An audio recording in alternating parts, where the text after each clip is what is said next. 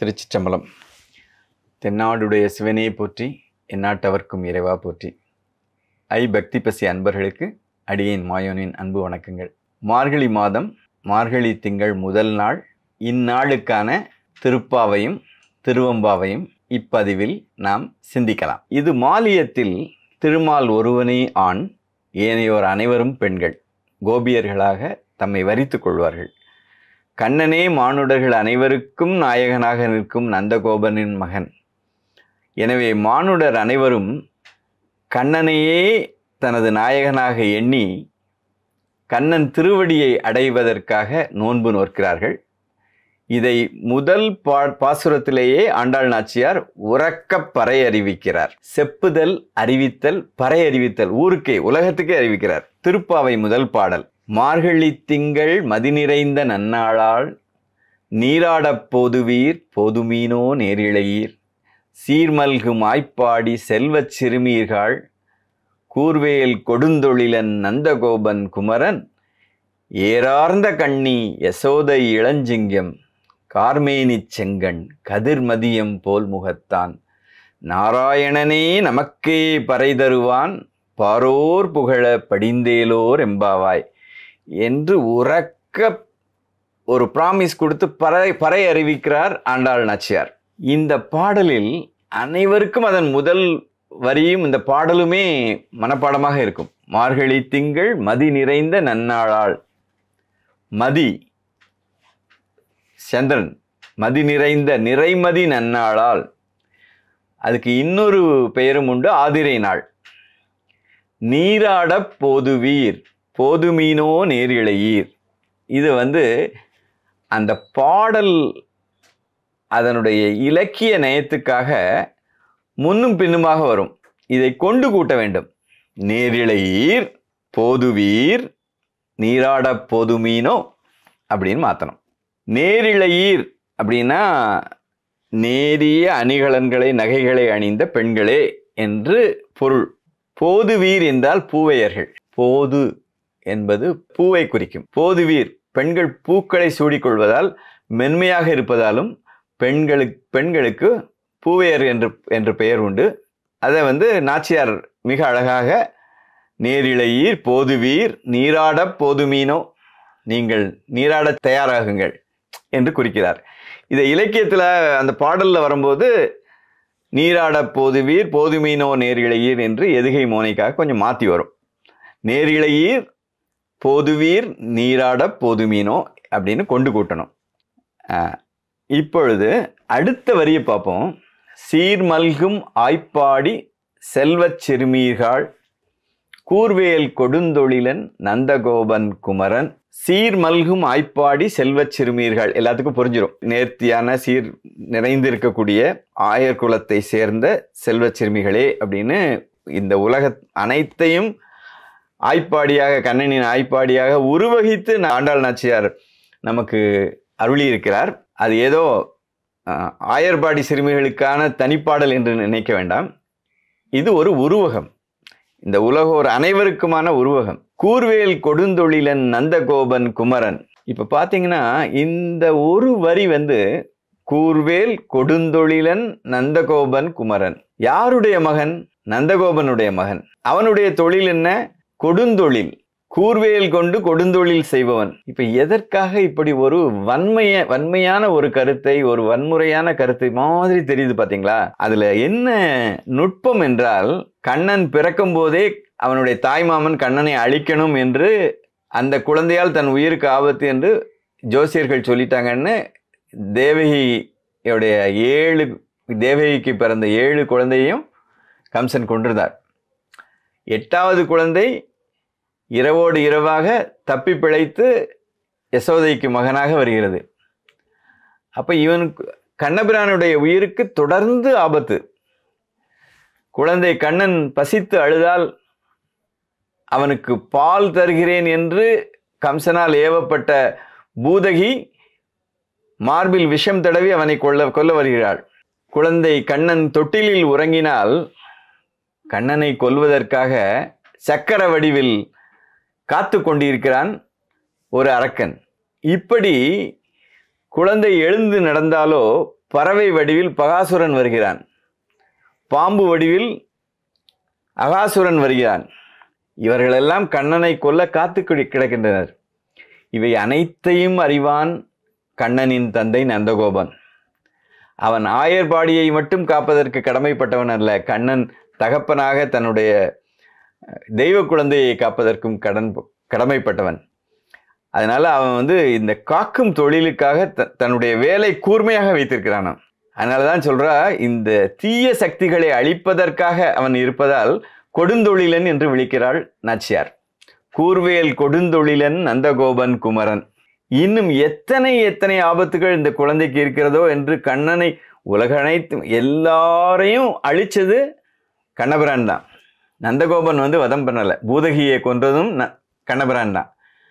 ஆனால் உலக உலகத்தையே காக்கும் கடவுளான பெருமாளுக்கு தகப்பனாக இருக்கிறவன் தன் குழந்தையை காக்க வேண்டும் என்று கூர்வேல் கொடுந்தொழிலானாக இருக்கிறான் என்பதை குறிப்பால் உணர்த்துகிறாள் ஆண்டாள் நாச்சியார். காக்கும் கடவுளை காப்பவர் யார்?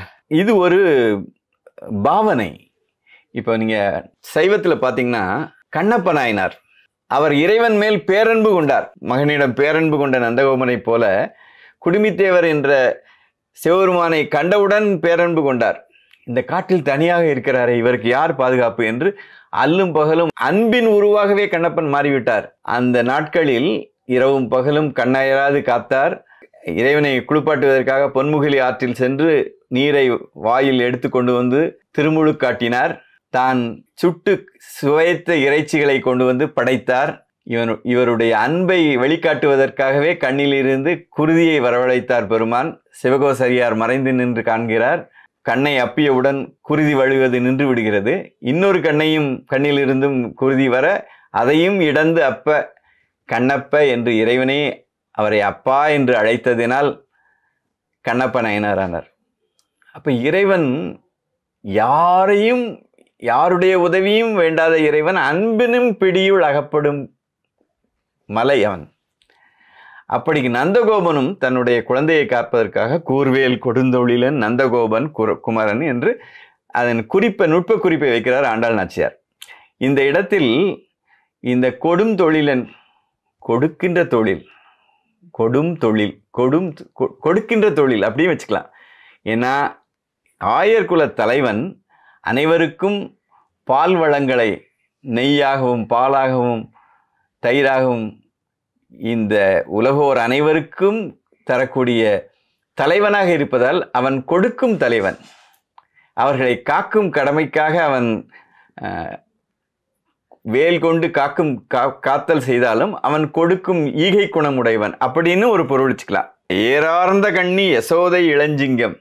ஏறார்ந்த கண்ணி. வாழ்த்தடங்கண் மாதே வளருதியோன்னு மாணிக்கவாசகர் சொல்லுவார். வாழை போன்ற நீண்டு நீண்ட கண்கள் தடங்கண் வாழ்த்தடங்கண் மாதே. இங்கே வந்து ஏறார்ந்த கண்ணி. அந்த வாழை விட இன்னும் நீளமாக இருக்கும் உழவுக்கு போகக்கூடிய ஏர். அதனுடைய நுகத்தடியோடு அதை பார்க்கும்போது அது கண் மாதிரி இருக்கும். அது நீண்டு நிற்கிற மாதிரி. அந்த அழகை வந்து அந்த அந்த மக்கள் வாசிப்பிலிருந்து சொல்கிறார் ஏறார்ந்த கண்ணி யசோதை இளஞ்சிங்கம். அந்த கண்ணபிரான சொல்கிறாரு இன்னும் வர்ணிக்கிறார் பெருமாட்டி கார்மேனி செங்கண் கதிர்மதியம் போல் முகத்தான் இவனுடைய திருமேனி கரிய மேனி கார்மேனி. கண்கள் சிவந்த கண்கள். முகம் எப்படி இருக்கு? க கதிர்மதியம் போல் முகத்தான் மதி என்றால் நிலவு. ஒளி வீசும் நிலவு போன்ற முகத்தான் என்று ஒரு பொருள் கொள்ளலாம். மதியம் என்றால் கதிர் சூரிய கதிர் என்று கொண்டு மதியம் உச்சி வேளை. உச்சி வேளை சூரியனைப் போலவும் பிரகாசிக்கிறான் என்றும் கொள்ளலாம். கார்மேனி செங்கன் கதிர்மதியம் போல் முகத்தான். அப்படி கருகருன்னு இருக்கக்கூடிய பெருமாளுடைய திருமேனியிலிருந்து ஒளி மின்னுகிறதாம். இதை ஆண்டாள் நாச்சியாருக்கு பின் பிற்காலத்தில் வந்த கம்பா கம்பாழ்வார் இந்த வரியில் தன்மை எ- முழுவதுமாக கரைத்து கொண்டு அவர் பாடுகிறார். வெய்யோன் ஒளி தன்மேனியின் விரிசோதியின் மறைய பாடுகிறார். ராமபிரான் காட்டுக்கு செல்கிறான். இளையானுடனும் பிராட்டியினுடனும் மாலை நேர வெயில் தகதகக்க மரவுரி அணிந்து காட்டுக்கு செல்கிறான். அந்த காட்சி அந்த காட்சியை வந்து பெருமா கம்பாழ்வார் வந்து கார்மேனி செங்கன் கதிமதியம் போல் முகத்தான்றதுலேருந்து அவர் பெற்று எழுதுறாரு வெய்யோன் ஒளி தன்மேனியின் விரி சோதியின் மறைய பொய்யோ என்னும் இடையாளுடன் இளையானுடன் போனான் மையோ மரகதமோ மறிகடலோ மரி கடலோ மழை முகிலோ ஐயோ இவன் அழகு எனும் அழியா அழகுடையான்னு கம்பராமாயணத்தில் அவர் வந்து தன்னுடைய கவியை கொட்டியிருப்பார். வெய்யோன் ஒளி சூரியனுடைய அந்தி ஒளி தன் மேனியின் ராமபிரானுடைய மேனியின் மேனியிலிருந்து வரக்கூடிய விரி சோதியில் மறைய. இவன் மேனியில் பட்டு அது ஒன்றும் இல்லாமல் போயிருந்தான். அவன் கூட போகக்கூடிய பிராட்டி எப்படி இருக்கா? பொய்யோ எனும் இடையாள். இடை இருக்கா இல்லையான்னு தெரியல. அவ்வளோ மெல்லிடை. பொய்யோ பொய்யோ எனும் இடையாளுடன் இளையானுடன் போனான். இளைய பெ- இளைய பெருமாளும் கூட போகிறார் இவனுடைய திருமேனி எப்படி இருக்கான்? மையோ மரகதமோ மறிகடலோ மலை முகிலோ மையோ இல்லை இல்லை. மை வந்து கருப்பு அது ஒளி வீசாது. மையோ மறிகடலோ மறிகடலும் நீல வண்ணம் கார்மேக வண்ணம். ஆனால் அது உப்பு கரிக்கும். அது என் பெருமா பெருமானுக்கு ஈடாகாது. மையோ மறிகடலோ மழைமுகிலோ. மழைமுகில் பொழிந்தால் இனிமையாகத்தான் இருக்கும். ஆனால் மலை மழைமுகில் பொ- பொழிந்து சிறிது இல்லாமலும் போகும். அதனால இவன் என்றும் இருப்பவன். மழைமுகிலோ இல்லை. மையோ மறிகடலோ மலைமுகிலோ ஐயோ இவன் அழகு. இவனுக்கு உதாரணத்துக்கு எனக்கு மொழி இல்லை. மொழியை இழந்தேன். இவன் இவனுடைய அழகை வர்ணிக்க என்னால் முடியல அப்படின்னு ஐயோன்னு கையை தூக்கிறார் அந்த வரிகளை பெருமான் கார்மேனி செங்கன் கதிர்மதியம் போல் முகத்தான் இங்கிருந்து பெறுகிறார். அப்படிப்பட்ட நாராயணனே நமக்கே பறை தருவான். அது என்ன பறை? மலையாளத்தில் பறைனா சொல்லுங்கிற பொருள். அது சிறப்பு சொல். பறை என்றால் ஊரறிய உலகறிய சொல்வது. அந்த வாக்குக்கு அறிவிக்கப்படுவது. அப்படி அரசு அரசினுடைய ஆணையை அறிவிக்கும் பெருமான் பறையை ஒரு அந்த அந்த ஊரில் ஒரு அரசு அலுவலர் அந்த பறையை எடுத்துக்கொண்டு பறை அறிவித்து இதுதான் அரசின் ஆணை என்று அறிவிப்பார். இது உலகறிய சொல்வதற்கு. அந்த சொல் ஊரறிய உலகறிய அறிவிக்கும் பறை என்றால் ப்ராமிஸ் என்று பொருள். அப்படி அறிவிக்கப்பட்ட அந்த பறை அறிவிப்பவர் வந்து பறையர் என்று அழைக்கப்பட்டார். அது ஒரு மிக உயர்ந்த சொல்லாக இருந்தது. இன்று மருவி அதன் பொருள் இழந்து நிற்கிறது. உயர்ந்த ஞானத்தை குறிக்கும் சொல் தான் பறை. இறை ஞானத்தை தருவது பறை. நாராயணனே நமக்கே பறை தருவான் என்றால் பாவை நோன்பு நோக்கும் கோபியரான உலகோர் அனைவருக்கும் பெருமானே நேரில் வந்து நானே ஆட்கொள்வேன் என்ற உறுதிமொழியை தருவான் என்று நாச்சியார் உறுதிமொழி கொடுக்கிறார். ஆண்டாள் நாச்சியார் பாசகத்தின் வழியாக உறுதிமொழி கொடுக்கிறார். தலைவன் தரும் வாக்கு இது இறைவன் தரும் வாக்கு நாச்சியார் வாக்கு இறைவன் தரும் வாக்கு. அதை மாணிக்க வாசகரும் அதை குற அதை அதை உறுதியாக சொல்வார். அதை நாதப்பறைன்னு சொல்வார்.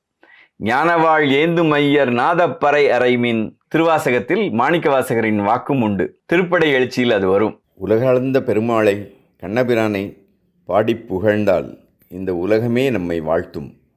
பாரோர் புகழ படிந்தேலோர் எம்பாவாய் என்று நாச்சியார் நமக்கு அருளியிருக்கிறார். திருப்பாவை பதிகத்தினுடைய திரண்ட பொருளை நாம் இன்று இப்பொழுது கண்டோம்.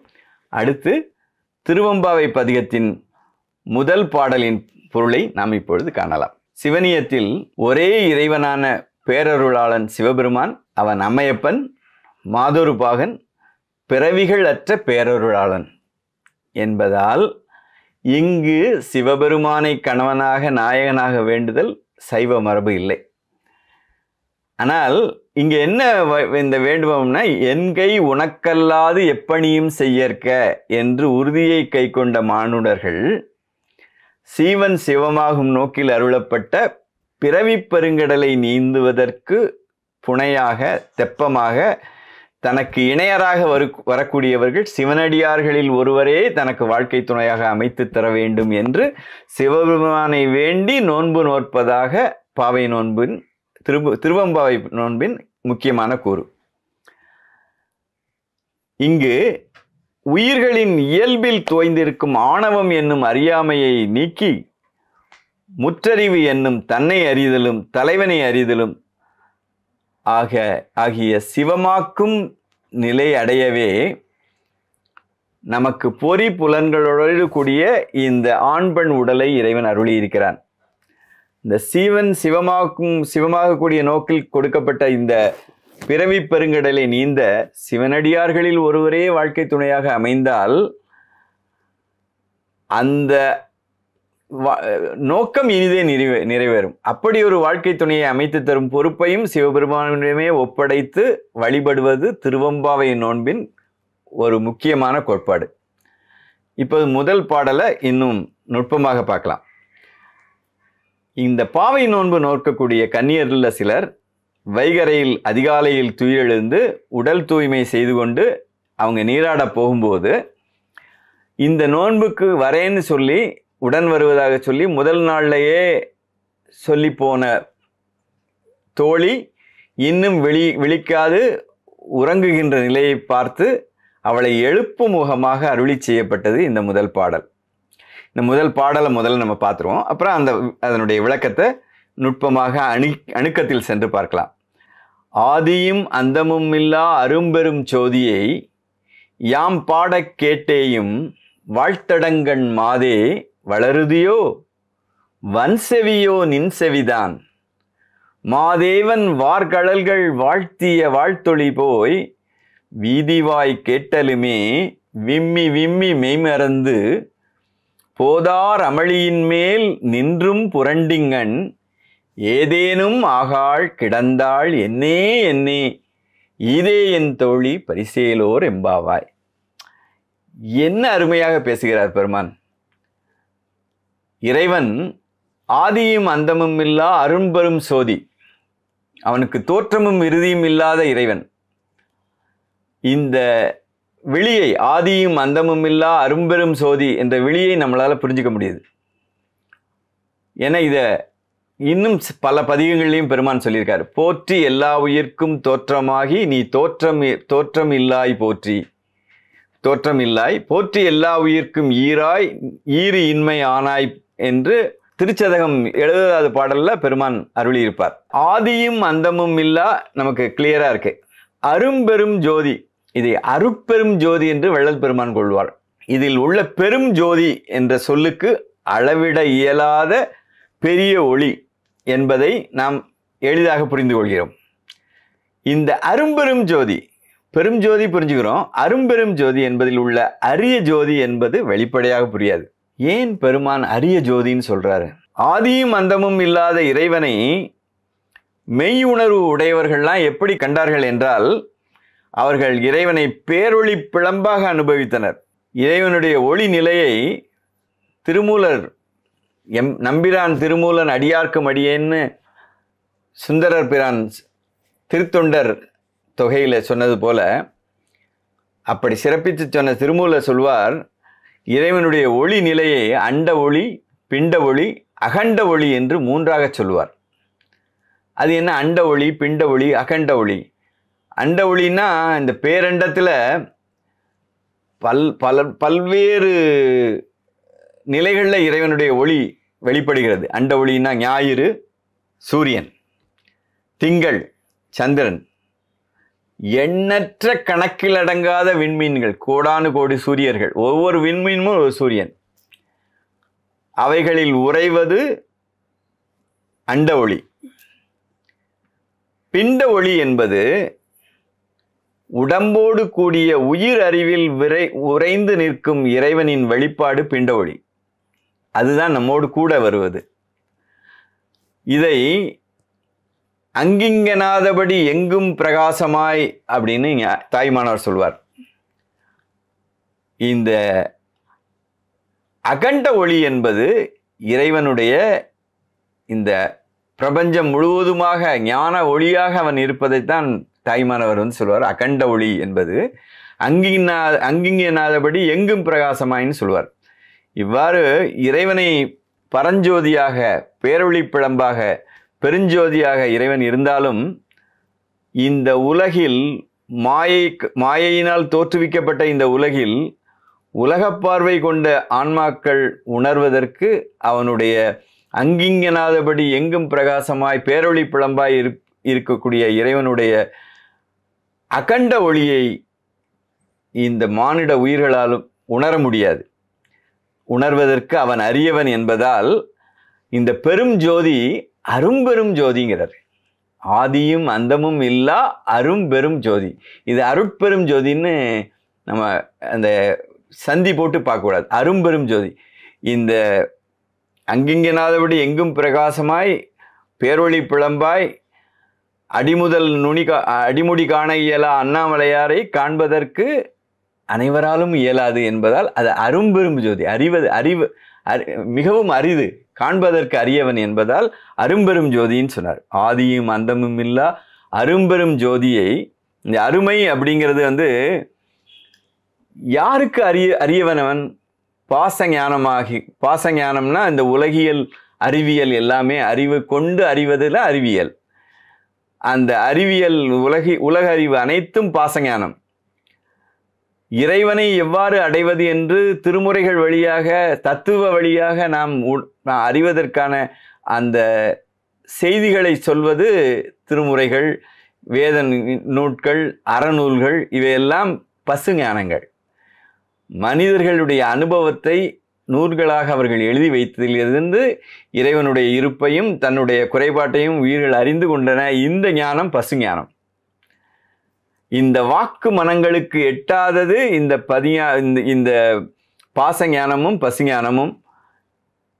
இதை கடந்து சென்ற பதிஞானமாகி இறை அனுபவம் பெற்றவர்களுக்கு மட்டுமே அவனுடைய ஆதி அந்தமில்லா அரு அரும்பெரும் ஜோதி அங்கிங்கனாதபடி எங்கும் நிறைந்துள்ள பேரொழியை விளங்கிக் கொள்ள முடியும் என்பதால் நாம் உணர முடியாததை அந்த அவனருளே கண்ணாக காணும் பொழுது நாம் உணர்வோம் என்பதால் அதை அரும்பெரும் ஜோதிங்கிறார்.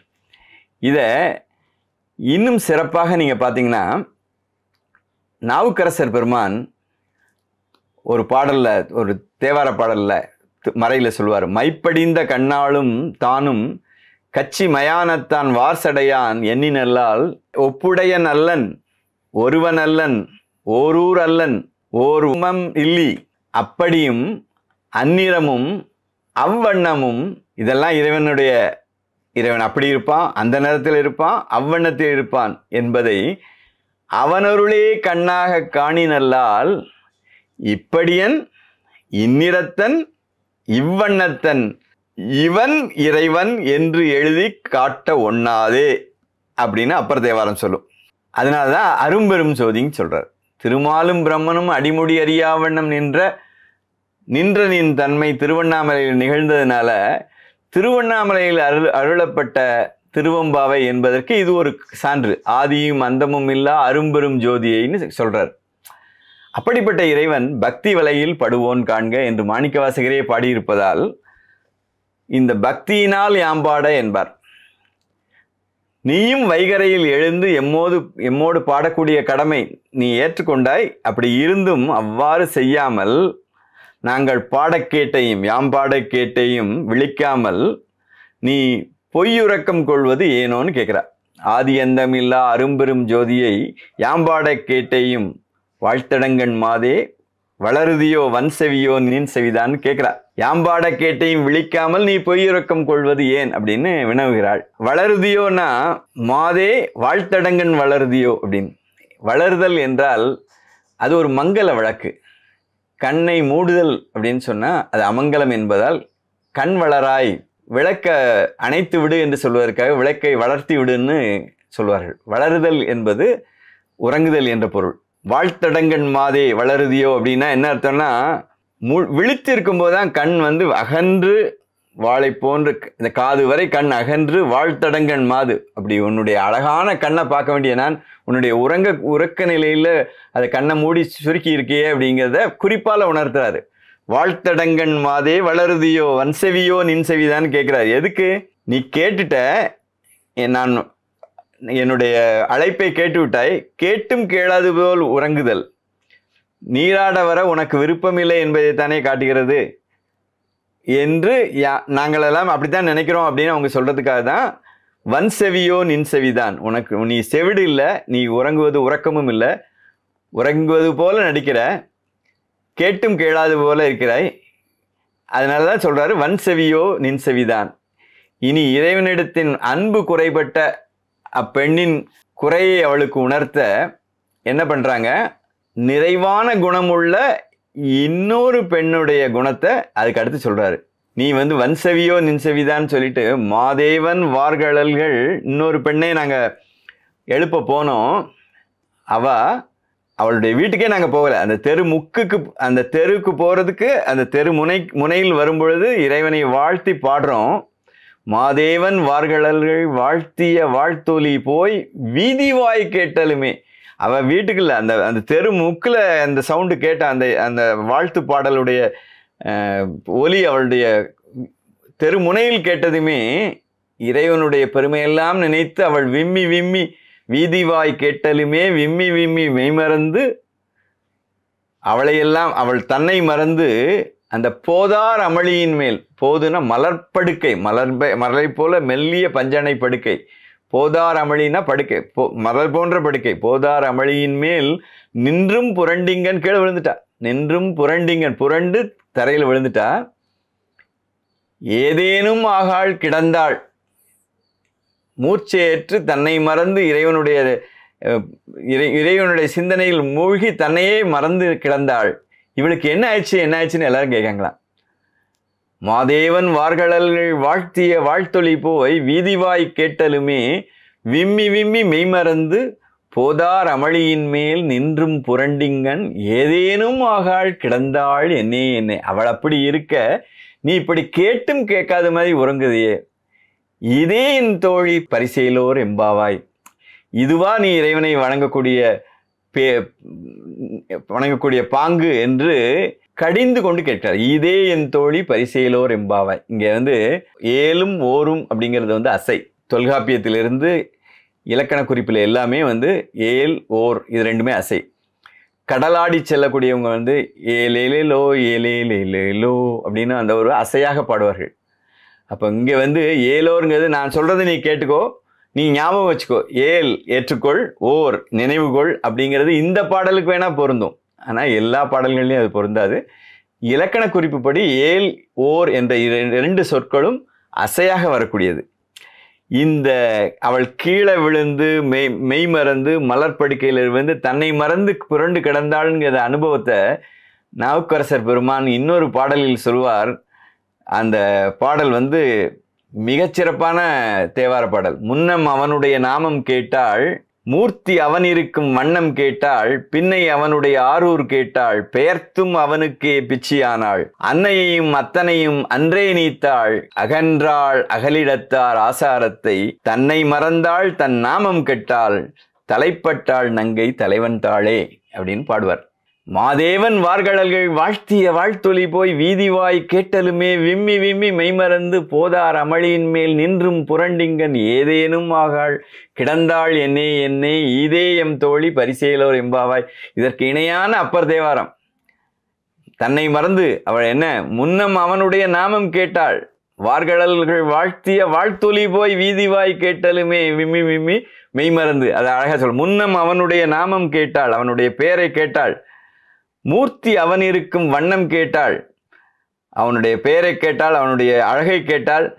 பின்னை அவனுடைய ஆரூர் கேட்டாள். அவன் எந்த ஊர்? அவனுடைய திருவாரூர் அவன் ஆரூர் கேட்டாள். பெயர்த்தும் அவனுக்கே பிச்சியானாள். பைத்தியம் பிடித்தது போல பிச்சியானாள். அன்னையையும் அத்தனையும் அன்றே நீத்தாள். அன்னை தந்தை உறவுகளை அன்றே நீத்தாள். இறைவனுடைய உறவு பேர் வேணுமானால் இந்த பச பாச பாசங்களை விடணும். அன்னையும் அத்தனையும் அன்றே நீத்தாள். அகன்றார் அகலிடத்தார் ஆசாரத்தை. அதாவது இறைவனை வணங்கும் பொழுது அந்த மெய்தான் அரும்பி விதிர் விதிர்த்துன்னு சொல்லுவார் திருச்சதகத்தில். அப்படி உணர்வோடு இறைவனை வணங்கும் பொழுது மற்றவங்க பார்க்குறாங்களா அவங்க என்ன நினச்சிக்குவாங்க? இவங்க என்ன நினச்சிக்குவாங்க? நம்ம இப்படித்தான் இருக்கணுமோ? அப்படி அந்த எல்லா உணர்வுகளையும் இத்தாள் அகன்றால் அகலிடத்தார் ஆசாரத்தை. இந்த எந்த மற்றவங்க என்ன நினைப்பாங்க? எல்லாமே விட்டுட்டார். தன்னை மறந்தாள் தன் நாமம் கெட்டாள் தலைப்பட்டாள் நங்கை தலைவன் தாளேன்னு நாயகன் நாயகி பாகவத்தில் உருகுவார் பெருமான் அப்பர் பெருமான். இந்த பாடல் கண்ணதாசனுக்கு மிக மிக அணுக்கத்தில் அவருடைய ஒரு காதல் பாடல் எழுதும் பொழுது அவருக்கு இந்த பாடல் நினைவுக்கு வந்தது. வீதிவாய் கேட்டலுமே மாதேவன் வார்கழல்கள் வாழ்த்திய வாழ்த்தொழிவு போய் அதிலிருந்து பிறந்தது முன்னை அவனுடைய நாமம் கேட்டாள். இதை வந்து அன்றொரு நாள் அவனிற் அவனுடைய பேரை கேட்டேன். அடுத்த நாள் அவன் இருக்கும் ஊரை கேட்டேன். இன்று வரை அவன் முகத்தை நானும் காணேன். இப்படின்னு ஒரு ஒரு புகழ்பெற்ற திரைப்பட பாடல். கண்ணதாசனுடைய சொல்லாக முன்னம் அவளுடைய நாமம் கேட்டாள் பாடல் பாடலிலிருந்து பிறந்தது. இவளுக்கு என்ன ஆயிற்று என்ன ஆயிற்று என்று அனைவரும் பதைபதைத்து போனோம். ஆனால் நீயும் பாராமுகமாக இருக்கிறே வியப்பாக இருக்கிறது என்று இதே என் தோழி பரிசெயலோர் எம்பாவை என்று இந்த பாடலை முடிப்பார். இங்கே நினைவு கொள்ள வேண்டியது ஏலோர் என்பது அசை ஏலும் ஓரும் அசை.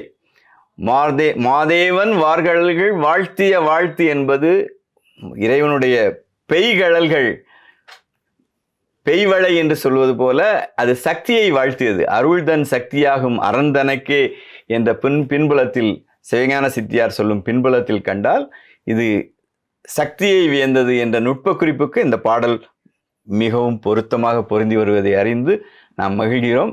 இனி நாளை திருப்பாவை திருவம்பாவை பதிகங்களின் இரண்டாவது பாடல்களை காண்போம்.